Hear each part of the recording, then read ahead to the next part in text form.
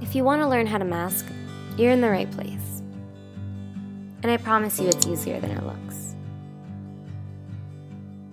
Once I choose a canvas, I'm going to start off by adding geometric overlays to my design just to create a cooler background.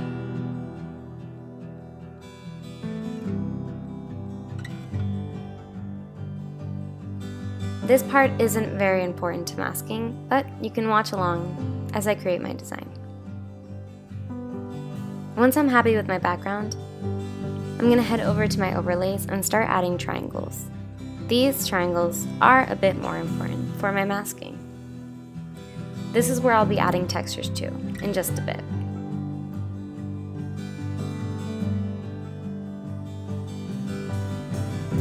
As you can see, I have my alignment hints turned on, and that makes it a lot easier to create really cool designs. Alright, now that I have everything ready to go, I'm going to make sure I have the overlay I want to apply a texture to selected, and I'm going to go to add my own. For this one, I'm going to use a photo that I have on my computer.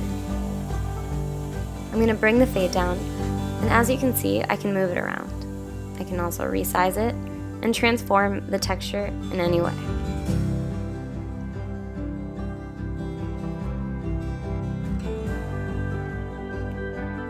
I can bring the fade up and also adjust saturation. And of course we have our blend mode.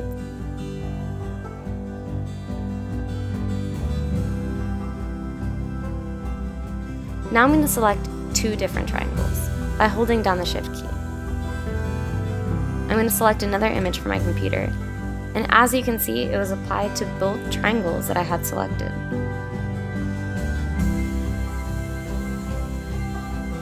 I'm going to multi-select these two triangles as well, and add one of PicMonkey's own textures.